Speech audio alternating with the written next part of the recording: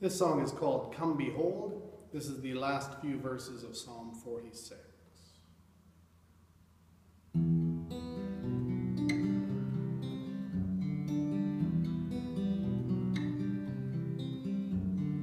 Come behold the world.